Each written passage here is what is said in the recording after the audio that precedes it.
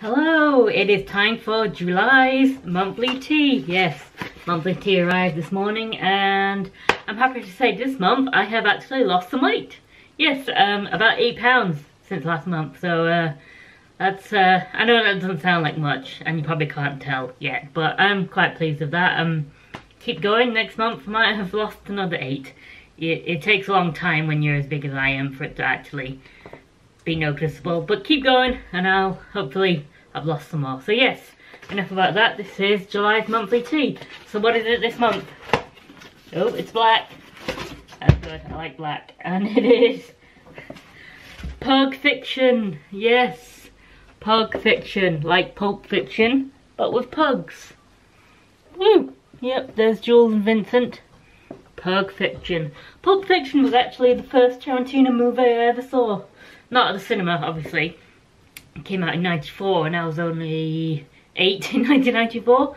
No, it was uh, when I was 18 and I was able to join Blockbuster Video and I got my first Blockbuster card and that was one of the first movies I ever rented. Yeah, good times. So, Pug Fiction. that's kind of cute. I'm not really a fan of dogs, but oh, that's cute. Instead of guns, I just noticed, instead of guns, they're holding bones. that's really cute. Alright, so let's try this on. I forgot to say this was last month's shirt, the uh, light blue Holy Cow shirt. It's not my favourite, I'm not really a fan of light blue. But yeah, that was last month. Every month I wear last month's shirt before I put on this month's shirt. So yeah, that was last month's Holy Cow. And this is Pug Fiction. I like this one. I like the black. I like black t-shirts, I guess that's just my style. I like the colours the orange there and the red and the little pugs. I like this. This is one I'd gladly wear out, you know, outside. Yeah, it's nice and soft.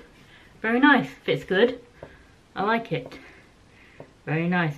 Kind of simple, you know, not it's not, you know, elaborate or anything. It's uh, Pug Fiction.